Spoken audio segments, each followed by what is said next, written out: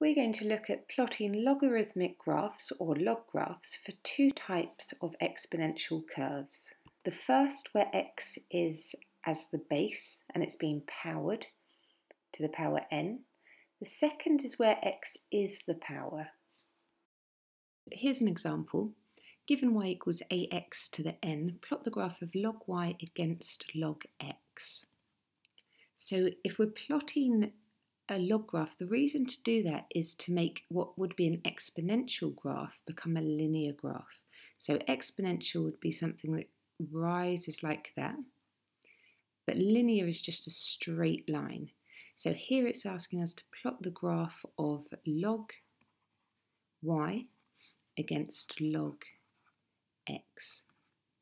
So how would we do this? Well, we have to rearrange this formula to give us log y and log x. So the first thing we're going to do is we're going to log both sides. So log y equals log of this whole thing, ax to the n. Now here a really common mistake is to think, ah, I know my log rules, I'll bring this n down in front. You can't do that. The reason is because uh, the a isn't also to the power n. If it was, and we had something like that, so ax to the n, then you could bring that n down. But as it is, um, you can't. So first of all, you have to use another log rule, which allows you to split them up. So we've got log of a plus log x to the n.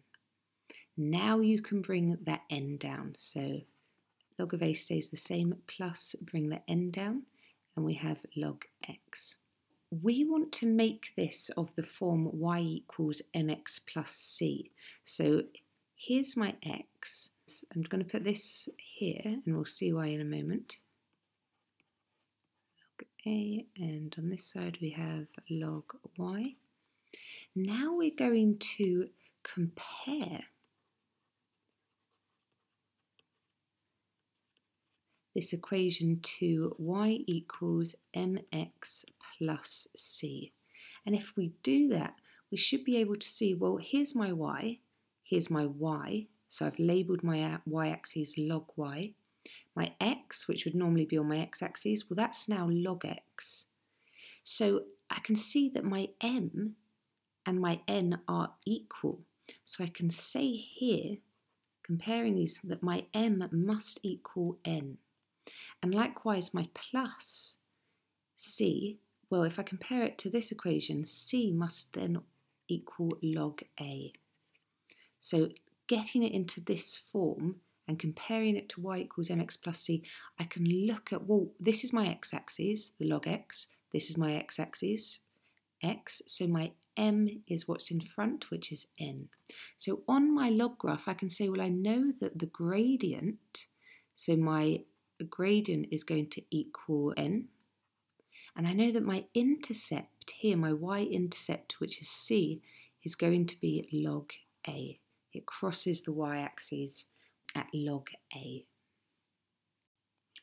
In this instance, we're being told y equals ab to the x, plot the graph of log y against x.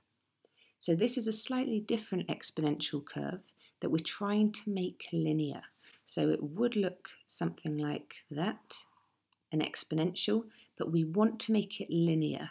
So here we're going to uh, make the y-axis log y, and the x-axis we're going to leave as x. So we have to find our log y from this equation and we're going to do it by logging both sides, just like we did before.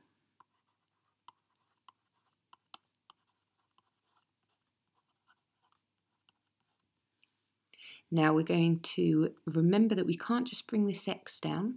We've got to first split it up because the a isn't to the power x. It's only the b that is to the power x. So log a plus log b to the x. Now we can bring the x down.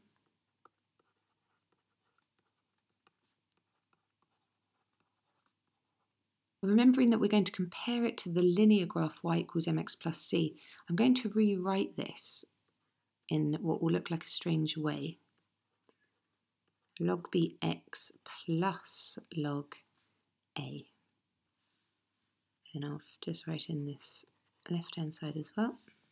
So now we're ready to compare to our known equation of a line, which is y equals mx plus c. Let's have a look at this then. We've got y, well this is our y now, it's on our it's labelled as our y-axis, log y. Our n is in front of our x, so what's in front of our x here? Ah, well it's log b. So I can say that this log b and this m are the same. Likewise, our intercept is always the additional term that doesn't contain an x. So I can come down here and say I now know what my gradient is. My gradient m is equal to log b, that's my coefficient of x, and my c, my y-intercept, is equal to log a. So here where it crosses the y-axis, I can label that now log a. And my gradient here is going to be equal to log b.